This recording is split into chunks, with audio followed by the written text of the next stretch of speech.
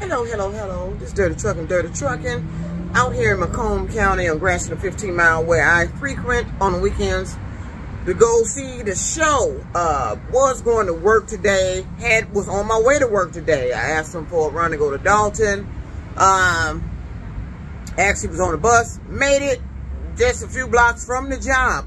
When I got a phone call from dispatch talking about change of plans, uh, they had canceled that load that didn't sound right. Uh, it sounded weird to me.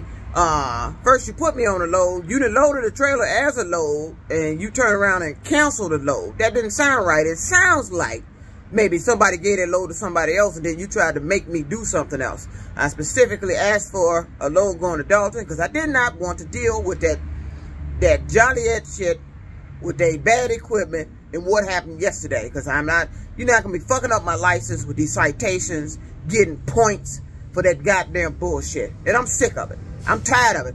I had a clean record until I got in containers. And you're not going to fuck up my shit. I'm not going to deal with it. So, wait until I got damn near to the job. I'm like 15, 20 minutes away from the job. Call me talking about they canceled the load. Oh, really? Well, I'm not going to be fooling with no Joliet. We already got a damn citation. I'm pissed off about that. Made me instantly flash back to Horizon when I got that damn citation because the headlight was out pulled out of Ohio. Headlights was on. All the shit on the truck was working. You can't prove I didn't check shit. All my shit be working.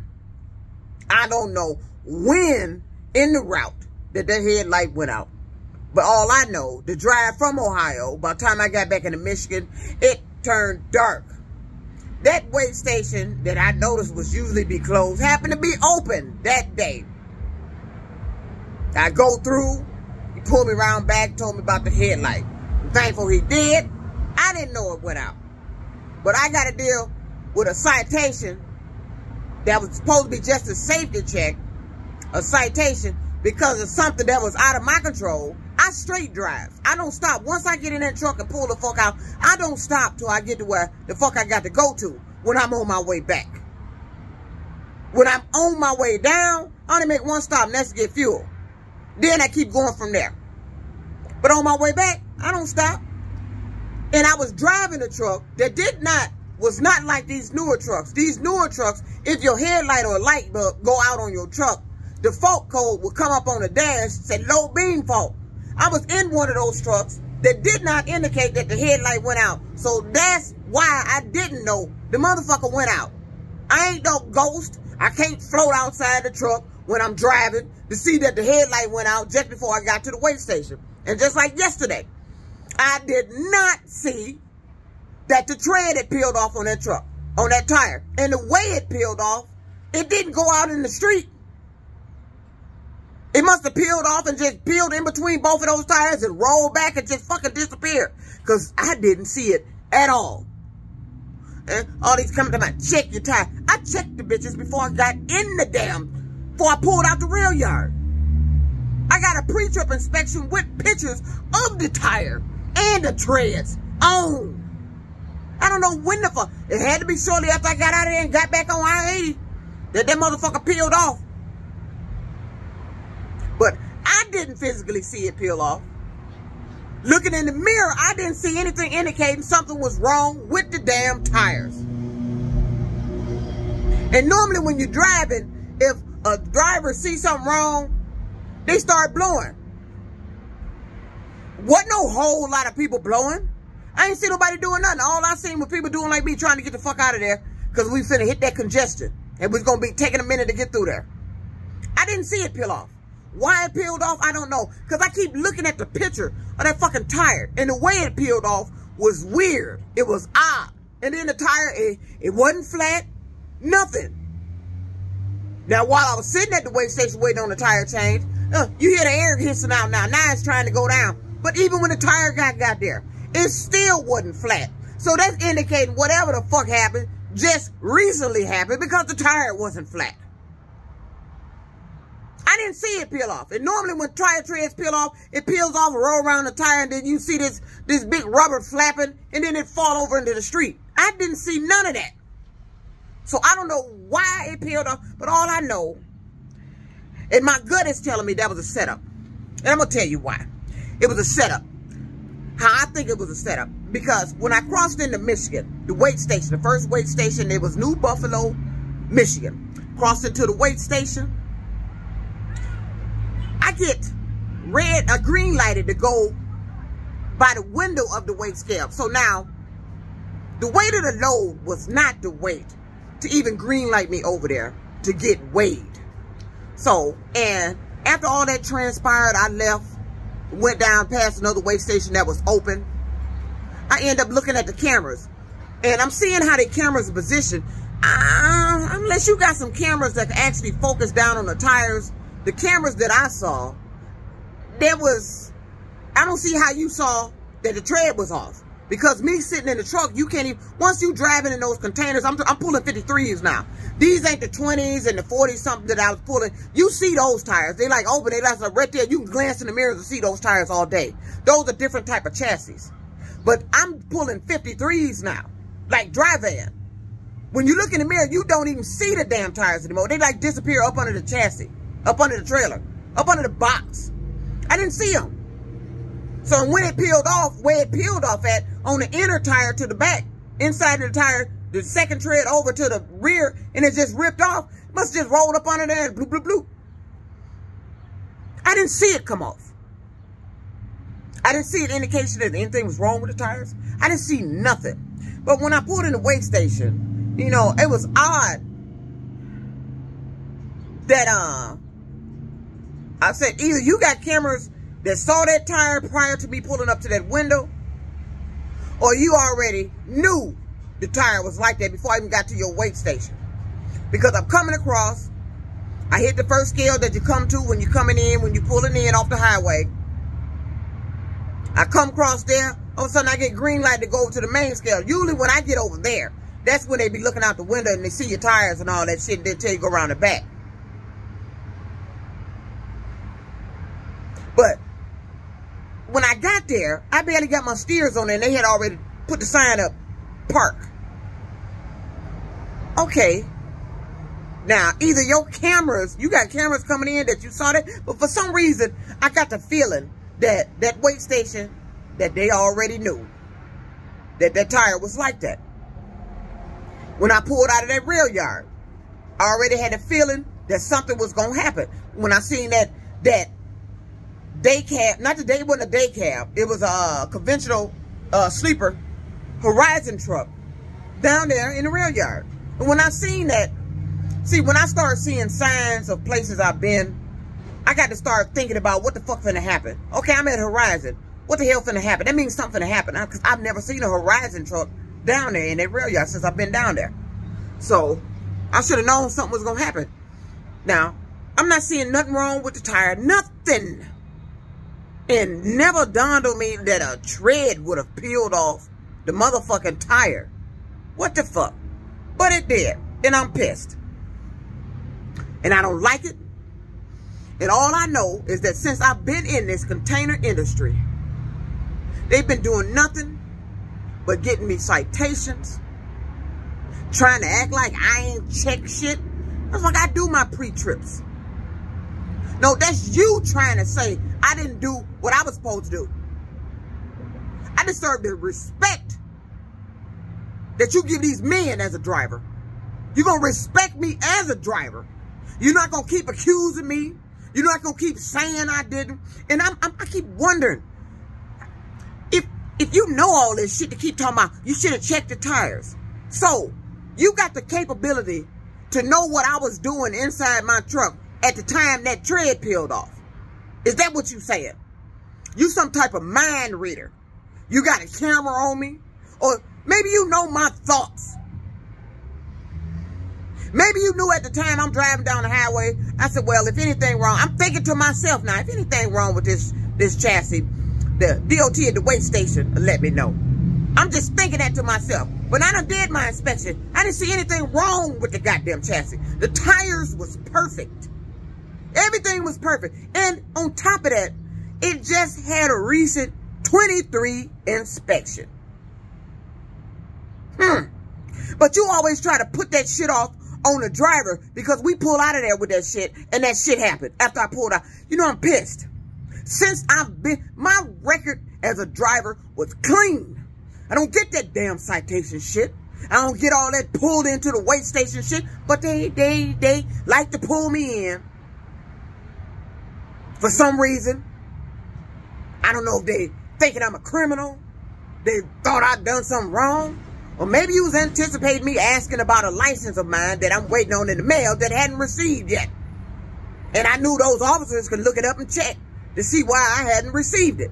They couldn't tell me why it wasn't mailed out, but they could check it on their computer, which they did. So that's a warning to whoever that is playing the game with a license. I'm waiting for coming in the mail. That's going on 30 days now after I paid for that license. I'm waiting on it. I already had the state of Michigan troopers go on the computer and check that information. Because I'm trying to find out why my shit ain't there yet. So, but I'm pissed. I don't do this citation shit. I don't like getting pulled into the weight station for no shit that I missed or or something happened while I was driving that I didn't know happened. Like I said, that when the headlight went out, I'm in a truck that did not have that feature that when the headlight go out, that the low beam fault come up on the dash. But I got to deal with a citation from that shit. So I guess I got to be a ghost, uh, uh, uh, uh, uh, electronic current in the truck to know that the headlight went out before I reached the weight station. I guess I got to be a birdie outside the tire, a rock on the ground, to know the tread peeled off when I didn't see it peel off. I'm just going to, I didn't see no flat tires. When I pulled in the back of the weight station, he came out and said, you got a flat. No, I don't. I kicked the tire. I said, this tire's not flat. But the treads was off. And it was about to go flat. But it didn't. And it wasn't. But I started hearing the air hissing while I was parked. So it was eventually going to go flat. But in the hour and a half that I waited for that tire place, the tire replacement to come there, it didn't go flat. The air was still seeping out, but it still wasn't, quote unquote, flat. So that's an indication whatever happened recently happened because the air hadn't let out the damn tire. But because the wires were exposed, he had to pull me around. The tread was gone. The safety issue, because that tire could have popped and did something else. It could have blew, blew the other one, or blew that whole side. I'm holding containers. Ain't no telling. But I'm pissed. Since I've been in this container industry, I'm sick of it. I'm tired of it. I'm tired of the bullshit. Now, you, you act like you, you, it ain't no act. They're doing this shit deliberately. I go to these rail yards, and when I get to these companies, the same shit that happened at a previous company started happening at the new company. It's like you playing some memory game you're going to start making shit happen at the other company, that, that, that at this company. That's, I mean, you do the same repetitive shit. They started talking about that yelling shit. They started fucking with me to, to cause me to have to say something shit. I mean, it's the same dumb, repetitive, fucking ignorant ass shit. When are you going to stop the bullshit? I'm a professional driver. I'm tired of the bullshit. And I know deliberate shit when I see it. You can sit up and say, oh, they ain't doing no purpose. I say they are. Because you not the one they fucking with. You not there when it's going on. And it's happening too fucking much. I tried to get out this industry. But you wouldn't let me out. I couldn't get a car, so I can go ahead and do Uber. I wanted to be free of fucking trucking. Because I'm tired of it. I'm tired of pulling somebody else's equipment I'm tired of driving somebody else's truck. See, I need my own equipment with my own trailer. Something I got to maintain. So that way I won't have no worries and no headache. When I unhook and hook to something, what's wrong with this? I know what's wrong with it. Nothing. Because it's my shit. But I'm out here hauling, doing stuff, struggling to make the money I want to make for people who's out here, they, they got fleets of trucks. I'm driving they shit. What the fuck I got? I ain't got mine. I can't say, I can't sit up and say I'm making bank in trucking. When I tried to make bank, you sabotage my shit. I'm sitting up here working for other people that's making bank. I'm making money for them. And barely making money for my damn self. I'm driving their shit. I ain't got my own shit. They don't want me to have my own shit around here in Michigan. They don't want me to have my own shit in no other state. Because you kept sabotaging my shit.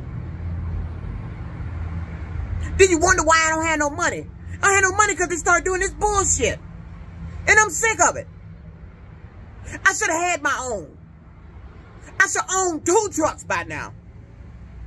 I should be making that money that those guys are making for owning their truck. But no, they don't want me to make that kind of money here.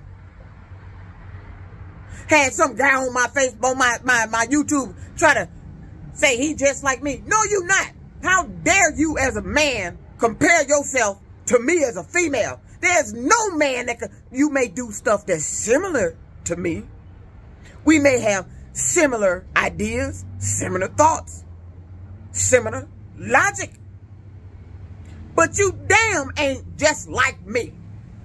There's no man on this earth could sit up and say he's just like a woman. Because you're not. We two different. One male, one female. And in the trucking industry, it's the same thing. There's male and there's female. Everybody don't get treated the same. Everybody ain't going through the same bullshit. But my bullshit that I'm going through is all stemming from one truck plant. Because you put out the heinous lie that I supposedly been harassing co-workers. And these people ran with that damn lie. And so they started doing it to me from trucking job to trucking job. Harassing me now. Because you think that's what the fuck I was doing. So these people think that's the what the right they got to do to me. Being harassed by all these goddamn drivers. Different races of drivers. And then the company don't do shit. Like at Horizon where they harassed me on my damn phone. With that group text shit. Oh, who the motherfucker ended up gone? It was me. Not now one of them was on that list that I posted that who was harassing me with them fucking messages. Now was it? But that's what they do. You sit up there and condone that shit. And then you get rid of the one that they was fucking with. And that shit is wrong. And you got that shit backwards. And you need to be held accountable for that shit. But what I tell you now, you're going to stop targeting me because of that Chrysler bullshit. You're going to stop playing games with me. Like, I've been waiting on uh, my NAACP card. I've been a member of the NAACP. I paid to renew my membership when I moved in this new current residence. When you renew your membership, you're supposed to get another card. Never received my card. So, and I couldn't get them on the phone. Been calling all over, calling all over. The main headquarters is in Maryland. I called there. Tried to get the Detroit office. They they got they they still got a pandemic message on the phone. They working from home. It's 2023. They still had that. And then you call back. I finally got somebody on the phone. He asked me, did I have my receipt for the money I paid for to renew my membership? Which I did. And lo and behold, there was a, Ju a, a uh, Juneteenth little thing, function they gave at the Eastern Market, not back on Juneteenth. And there was a lot of vendors there. NAACP was one. I walked over to that table and asked them about my membership card. And just to be, uh, lo and behold, the guy that was at the vendor's table happened to be the one that handles that. And I think he remembered my call. I said, yeah, because I found it odd that the individual was asking me, did I have my receipt for paying for my renewal? So I produced it on my phone. He saw it. So he told me, gave me his number, told me you got to give him some time, give me a couple weeks. I got to look into why when we look on our system, it don't show you making that payment. You know, you not you didn't you didn't renew your membership. Hmm. But this receipt says it. My bank account shows it. But I didn't get my membership card. Tell me maybe your address changed. I renewed my membership with my current address. Where's my membership card? Hmm. Just like this license I'm waiting on. Now, they gave you a temporary license paper. Says expires in 45 days. If you ain't got your license within 45 days, uh, let them know. See, they still using this here pandemic shit as the reason why they not doing shit. You, you, you got to let that go. The pandemic was in 2020. Started lifting in 2021. We into 2023. These people are paying for these licenses. This is stuff they need. Mine should have been here by now. The 8th of this month will make 30 days since I paid that money for that license. Ain't got it yet. And it got 45 days for me to, for to end up in my, in my hands. And I'm sick of this. It's just game after game. Games with the mail. Game with business business transaction I'm trying to do. Games in my apartment. Games at the job. You either want me employed working or you don't. But what you ain't finna do is had me out here homeless because of some fucking shit y'all doing. When I know this is a damn game. All this shit is because of Warren Truck. And I fought the state of Michigan for not let getting them motherfuckers in court, holding them accountable for this shit. This game plan shit they doing is because of them bitches and they shit. All this about money. You playing a game with me about money. You done developed some some lottery game or something that don't nobody know about, and you been fucking with me. Somehow this has something to do with me, and you supposed to be winning money? Fucking with me? Is this one all this shit about money? Who the fuck gave you authority and permission to use me or anything I do for free to help you get fucking money when they fucked over my life and you supposed to be paying me that money. I ain't got no business working right now because of what Warren Truck did. I ain't got no business working at all. I should be in my mansion right now because I should be a millionaire with that shit they did to me. Oh no, but they didn't want to give me the money. They thought I was supposed to work and play a game for the money. And then when everybody else found out about this little mysterious game about the money, oh, they got in and started trying to get them some damn money. Oh, damn what the fuck they did to me. So now you to trickle this game over into the trucking. That's why they was fucking with shit on the truck. Making changes and shit. Because I used to notice this shit when I go in a casino. They do this little weird shit and then I go in the casino and see these people mysteriously hidden. And when I see the machine they're hitting off of, it's kind of similar to something they fuck with on my truck. True story. True story. All this shit about money. You want to keep me without money, but you want to use me to get money. And now you're trying to fuck up my license, my my livelihood, my bread and butter that I use to make money. Getting fucking citations of some bullshit. Oh, you gonna dispatch me on bad equipment or equipment that's finna go bad. They didn't know, or maybe they did. I don't know. I go get the shit, something happened. I go try to pick the shit up. Something already wrong with it. But I'm the one that go through the weigh station get pulled around the back. Not the ones that got that made it to the to the, the drop. And I'm picking up this shit with all these lights out, like the video I made a while back. Got to bust out these tail lights and shit and replace them or, oh, or oh, the tires with the flat spots. Oh, them drivers don't get caught. But somehow they know everything that's wrong with my equipment. And I've been keep asking everybody, how do you know this shit? Because you seem to know every damn thing that's going on. You seem to know what I'm thinking at the time something going on. You seem to know what's wrong when it's going on. And I started thinking to myself, if you know all this shit, then you knew what was wrong in the first place, and you knew them trails was finna peel off. That's why I ended up in the white weight station. You knew the shit. Hmm. Dirty truck it out. Peace out.